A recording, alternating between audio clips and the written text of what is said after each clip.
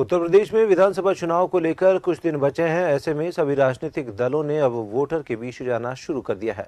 अगर बात की जाए बरेली की आंवला विधानसभा सीट की तो यहाँ से मौजूदा बीजेपी के विधायक धर्मपाल सिंह को पार्टी हाईकमान ने एक बार फिर विश्वास जताते हुए टिकट सौंपा है।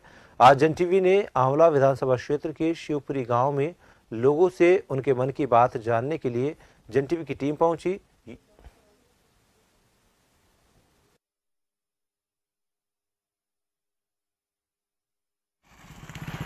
विधानसभा चुनाव की तारीखों में भी कुछ ही दिन शेष बचे हैं इस वक्त हम बड़े मौजूद हैं। आंवला की शिवपुरी गाँव में यहाँ तमाम जो संत हैं उनसे बात करेंगे लोगों से बात करेंगे राय लेंगे कि सन दो हज़ार बाईस में अब आखिरकार किसकी सरकार बनाने की बातचीत करते हैं।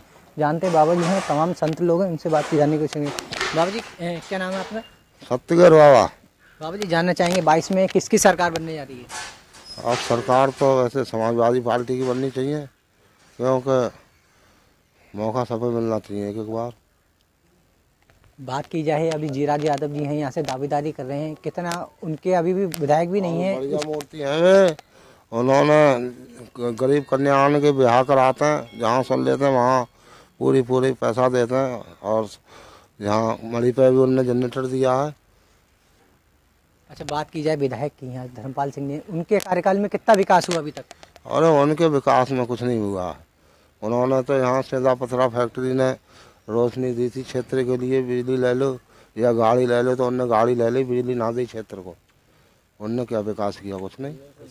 तो कहीं ना कहीं कहना है कि पाँच साल में जो विधायक रहे हैं दोबारा भी पार्टी ने उनको टिकट दिया है फिर चुना है क्या चुनेंगे उन्हें दोबारा? अब दोबारा तो इसको तो पब्लिक जाने ये कोई मेरे हाथ का काम थोड़ा ही है।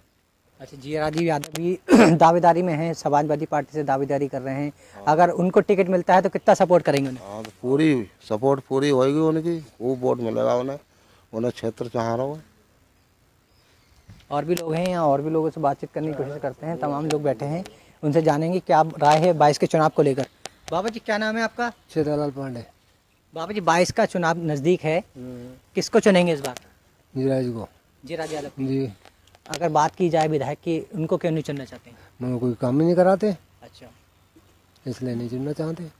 अच्छा बात की जाए जीराज यादव जी को अगर टिकट मिलता है आंवला विधानसभा से तो पूर्ण भूमि से सरकार बनेगी। हाँ सरकार बनेगी। और भी लोग हैं उनसे भी बातचीत करते हैं। बाबा जी क्या नाम है आपका? भैरमानंद बाबा जी बाईस में किसकी सरकार बनाने जा रहे हैं? हमें पता नहीं बनाई। बात की जाए जीराज यादव ने कितना अभी विधायक भी नहीं है चर्चाओं में रहते हैं कितना काम किया है? हमें कुछ पता नहीं। और भी लोग हैं उनसे भी बात करते हैं जानेंगे। क्या नाम है भैया आपका? मेरा नाम पंकज ठाकुर। भैया जी बात करेंगे अगर मौजूदा विधायक की पाँच साल में क्या विकास हुआ उनके कार्यकाल में अभी तक? विकास क्या सर अब देख सकते हैं आप शिवपुरी में अभी अंदर नहीं गए। हमारी जब शिवपुरी से अंदर जाया जाता है मेन मार्केट के लिए तो बहुत ज़्यादा दंदल है। अगर आप बाइक से हैं तो आपकी हो सकती है इतनी इतनी